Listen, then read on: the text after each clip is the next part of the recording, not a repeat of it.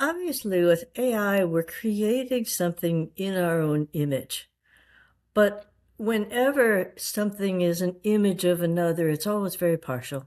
I mean, if we think about how in the Judeo Christian tradition we are created in the image of God, but we are not gods, you know, therefore we have to ask the question well, then what is it in us that images God?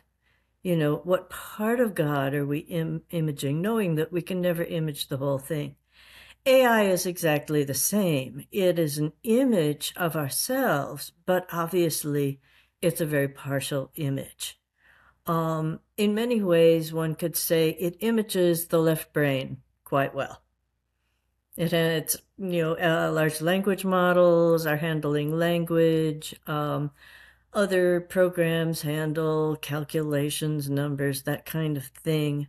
Um, but there's a, a whole lot of being human that is red brained. Our emotions, yeah. our uh, artistic creativity, um, our, our, feelings for for one another. Um, these are not being well imaged in AI. And then, of course, the other thing is as much as we would like to forget it and think that we can live online, we are embodied creatures.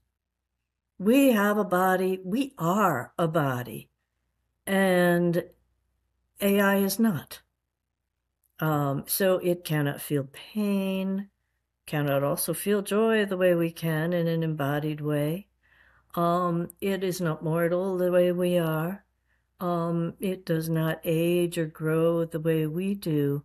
Um, and so the whole part of ourselves that acknowledges our embodiment and our embodiment within a larger environment is missing from AI.